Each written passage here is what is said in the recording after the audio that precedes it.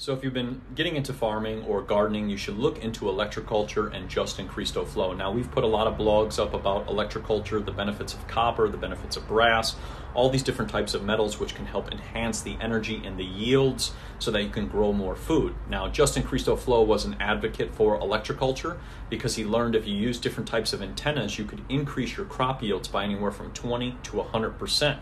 Now, government agencies and big chemical companies such as Monsanto and DuPont did not like his inventions because they went against the promotion of chemical fertilizers. If you look at a lot of farming nowadays with monoculture and all of these chemicals, we're not really farming. We're just spraying chemicals and pretty much drugs all over the plants so that they sprout up, but then they're pretty much getting all of the nutrients and all the vitamins ripped out of them.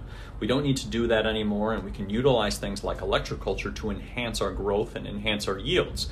Now, what was really fascinating was back in the day when I was learning about electroculture, I was basically understanding that people used to yield food six times a year compared to the one time in which we've been told.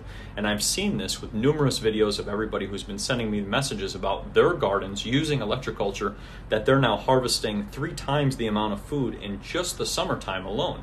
So if we use electroculture, we could be growing an abundance of food and solve the food shortages overnight. But we've just never been told this information because it's been suppressed.